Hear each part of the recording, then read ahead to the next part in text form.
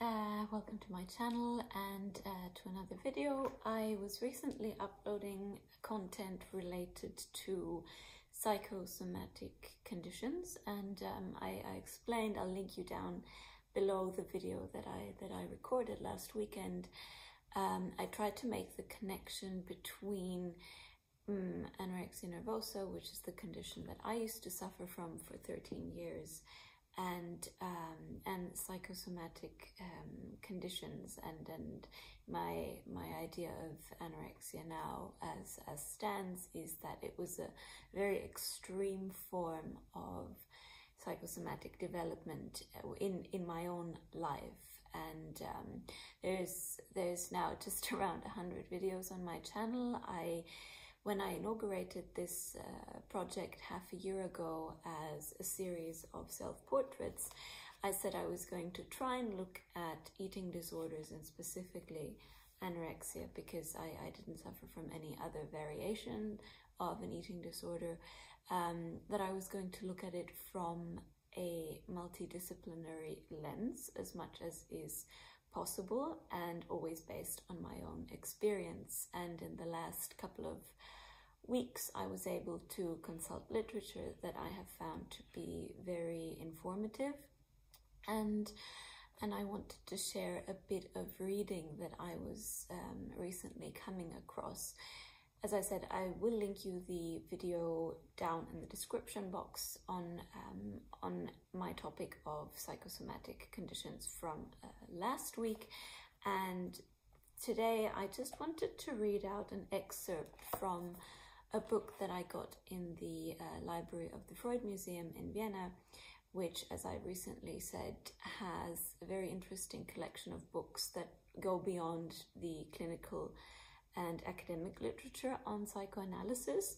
They have a whole section dedicated to psychoanalysis and film, and I had picked out this book, uh, which is called Projected Shadows, and it uh, it was published by the new Library of Psychoanalysis with its seat in, in London. So the, the publisher is uh, Routledge. I'll, I'll leave you the description of that, of this book um, in, in the description box as well. I, I was very surprised because there's there's really a lot of content in this book and uh, mind you I have to repeat I'm neither a doctor nor a nutritionist nor a psychologist nor a psychoanalyst but I have found there to be quite a few analogies between the way I work as an artist and an educator in, in museums and some of the professions I just uh, listed and I was um, happily surprised. Happily is a bit of a wrong word, word to use because the content of, of what I was uh, happy to, to find is, is really quite grim. But I was happy to find uh, that there, A, that there was a, a film made about an aspect of anorexia that I found to be very informative, but it's very grim. So I, I will just mention what this film is, what story that is based on. I will not go into it just yet because I think I need to prepare for that kind of content. But I was happy to find that two Italian psychoanalysts have been uh, collaborating to put together this chapter in in this book, uh, projected uh, projected shadows on psychoanalysis and uh, and film. And so the the essay or the contribution by the two Italians called Maria Vittoria Costantini and also Paola Golinelli is um, is called the anorexic paradox. And as, as soon as I saw that title, I just thought that must that's definitely worth a read. I have been discussing um, the the sort of counterproductivity of anorexia um, because it is it is geared towards destruction, self-destruction. It is geared towards uh, self-annihilation, and so in that sense, it's it's a form of perversion in its most extreme sense because it it is something that feeds on. Uh, the, the irony or the paradox here is that the condition anorexia feeds on wanting to uh, live, but in order to feel alive, arriving at a point that is not sustainable health wise. Um, and so I was automatically drawn by the title, as, as you might be able to imagine. And I thought I was going to read out, um, it's a couple of pages long, so I'm not going to go into the uh, film analysis that Golinelli and Costantini are writing about, but I wanted to read out something wherein the word somatic uh, comes up as well as a link to the video that I recorded last um, last weekend. And so um, I'm, I'm reading out from the anorexic paradox. Um, it is the skin, the flesh, the body as a whole, as the seat of both senses and affects that first accomplishes the world and remains marked by it. So in this sense, sorry, I should perhaps have started with a with a sentence before. Um, Golinelli and Costantini are already referring to the film, so I'll just mention the film, but as I said, I won't go into it. So they write, with reference to Matteo Garrone's intensely dramatic film First Love, in Italian it's called Primo, Primo Amore, we will be focusing on the representation of the exhausting struggle between the need for control over emotions and the libidinal expression of the body. It is the skin, the flesh, the body as a whole, as the seat of both senses and affects, that first accomplishes the world and remains marked by it. The history of every individual develops from the relationship with the mother's body, a unique bond of which both parties retain a memory in the flesh. Mother and baby co-penetrate, united in an embrace which gives a special significance to both. The signs of that primary relation are, for the most part, unconscious, not in the sense of repressed, but forming part of the memory, which is called implicit or procedural, and which we might call somatic, as it is inscribed in that individual's body and constitutes his or her individuality and otherness. It's a bit dark here now. Uh, the sense of this primary relation imbues all subsequent relations, which are thus affected by the corporeal imprint, since in the initial stages of development, object relations and corporeal experience coincide. Then there's a reference to uh, Freud, as they write, in Inhibitions, Symptoms and Anxiety, Freud in 1925 wrote that the word is born from the flesh what we carry in our bodies is our flesh, i.e., the primordial affective experience. Metaphorically speaking, writes Racalbuto in 94, I would venture to call this type of knowledge carnal knowledge, which is also the title of a Mike Nichols film uh, from 1971. It is the basis for what first constitutes psychic reality, Reality accomplished through affective sensations, the front and back door of the emotions, the source of sensations. Man's body is history incarnate. And then there's just a bit more reference about uh, Marco Garrone, but uh, and his film, the um, the anorexic, uh, sorry, the the primo amore, the the first love, which is then the, the film that this body is, um, is sorry, this essay is uh, based on. Maybe I'll just read this quickly. Through his films, especially L'Imbalsamatore, so that translates into The Embalmer from 2002 and Primo Amore from 2004, Matteo Garrone deals masterfully with the theme of the body. It becomes the battleground which, by eliminating all that represents the libidinal and emotional sexual aspects of the body, aims at nullifying the affective dimension which the subject paradoxically perceives as the greatest threat to his or her self-integrity. Um, yeah, so that last part is quite, it, it's very dense and it's, it's what I, what I was going to say a bit uh, a bit heavy to, to deal with and to deal through. I will come back to it, but once I have structured my thoughts around it. But it's really the the term that fell um, somatic that I found was uh, was interesting in relation to the the co-penetration of the bodies between the mother and the baby in, in her womb as it is created and then forms uh, during, during the nine months of pregnancy.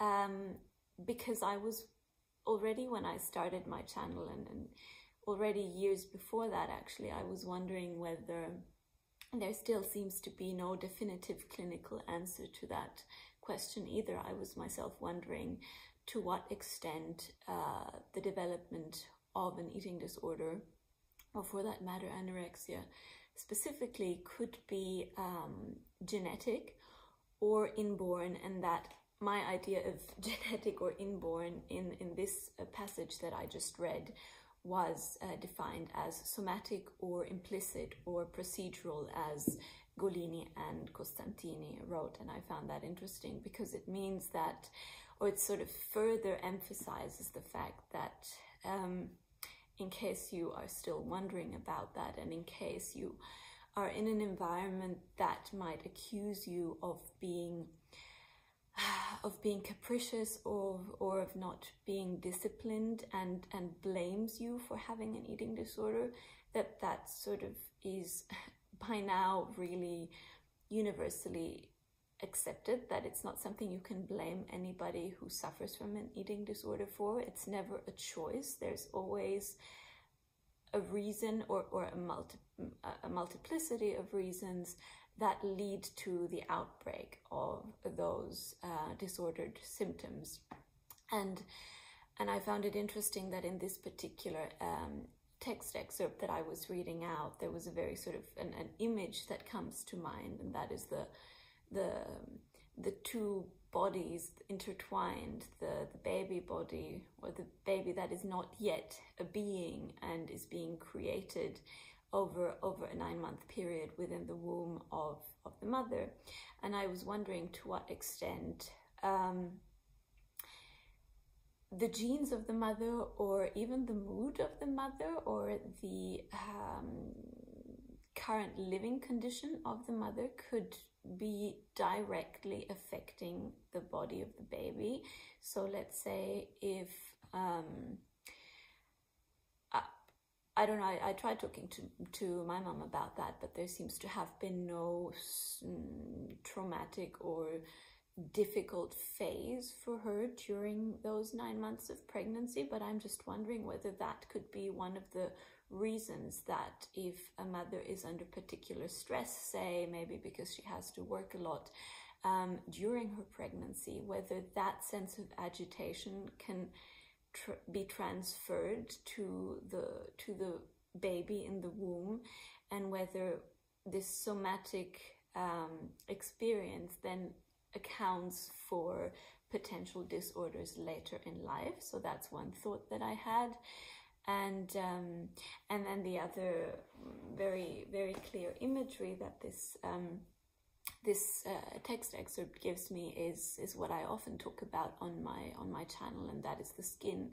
I last week mentioned that I myself suffered from um, what's the English word for it? Uh, it? It's a kind of skin rash. Uh, neurodermitis is the would be the translation from from German um, which is essentially uh, an, an itch that can be so strong that causes you to scratch yourself until you bleed. And I, when I was uh, a baby, um, up until I was five, was really suffering from these severe itches, and then my my uh, dermatologist pres prescribed cream that fixed that condition, but it came back to me um, when I was twenty when my grandmother died and I was under severe stress. And uh, and in the past book that I was reading out to you on my channel last week, The Revolt of the Body by Alice Miller, but also um, Edward Shorter's From Mind into the Body. Both these books were dealing, uh, even if just tangentially, with the subject of, of the skin and how stress and other difficult situations that individuals may find themselves in, whether consciously or subconsciously, can manifest uh, in in uh, in the complexion.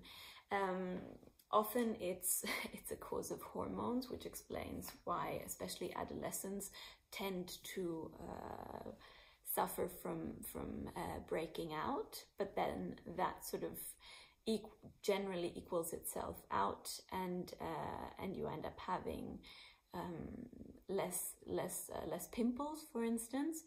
But uh, there's kinds of skin conditions like rosacea, which is something else that I have or ha I have a tendency to uh, to have um, keeps coming back to you in life based on uh, stress rather than hormones. Often these are intertwined, but I have found that in extreme situations of stress, my body reacts uh, today not so much with the coping mechanism of anorexia, but um, with with nervous itches, sorry, nervous rashes and and um, and rosacea. So I have an overlap of uh, two anomalies of of my skin tissue that then change uh, the surface of my body, so the skin. And I found it interesting how in, in this essay, the, um, the anorexic paradox, Golini and Costantini mention skin and flesh and um, and it also I'm, I'm almost done now because I just wanted to give you an an introduction to one of the interdisciplinary ways of looking at anorexia in this case through psychoanalysis and film that I found to be very helpful. And um, uh, what I the note I perhaps now I lost what I wanted to say as as usually happens. Um, what I found to be interesting is how oh yes the the the, the subject of skin and flesh and the incarnation of experience as experience that then manifests at different stages and sometimes recurringly in life in in the way that our uh, body looks. So in our musculature um, perhaps it's cramps or in our skin and perhaps it's rashes. Um, I was interested in that because um, what I read out to you brings back um, a YouTube video that I saw a couple of months back by by someone I very much like listening to. This is uh, Bessel van der Kolk, um, a Dutch um, analyst. I think I, that's not a reductive term. I don't think he's a uh, a psychiatrist, but um, he's made he's he's been lecturing on the subject of trauma and how the body um, expresses repressed trauma. And there's one video in particular that is called The Body Keeps the Score. And, and the way he phrases that the body keeps the score seems analogous to how I often talk about the body as a palimpsest, as as an entity that has lived through things that have been registered by the body on the surface, perhaps. So, um, uh, let's say the skin and the muscles uh, right underneath that, but that really that uh, score is much deeper. That palimpsest is is much more profound because it also that experience that perhaps was registered by the body also filtered through into the core and sort of becomes an an all embracing on the surface experience, but one that we also store in in our minds. And there's there's a there's then that connection to how psychoanalysis tends to work or how even Freud himself talked about his his practice and and in part explains why he was such an avid collector and student of um, of archaic Greece and had a huge collection of antique sculptures because he often was uh, was known for saying that his practice, so the the search deep into the mind or deep into individuals' experiences, um, was in a way a form of archaeology that he was digging deep in um, in in the mind and in, in order to arrive at the unconscious like an archaeologist would dig uh, deep to find artifacts from antiquity and so i find it interesting how his practice developed um, in part as uh, as his formation as a doctor and a, and a surgeon, um, but also with the awareness and and his very sophistic, uh, sophisticated scholarship um, around archaeology um, and and this this combination, this interdisciplinary approach of Freud's that then gave birth to psychoanalysis. Um, it's getting really dark now here because it's it's winter, and so I'm I'm, I'm fading into the dark as I speak. So I just I'll, I'll finish this off, but I hope that this was useful in some way. Um, if you have any questions, please let me know. And um, with with time, I um, I will get back to the film that was mentioned by the two authors, Costantini and Golini. But as I said, it's really it's it's quite hard to stomach. Um, if you want to do your own research, I'll leave you down below the uh, couple of links that relate to the real life events that have led to the film Primo Amore or First Love. But uh, this is a trigger warning if you want to see that film or read the book that it's based on. Um, do so at your own peril because I I was really shaken when I when I looked into it. Um, and there's parts there that I need to still figure out. Uh, so that's it for uh, now. If you have questions, as I said, welcome to ask any time. Bye and stay safe.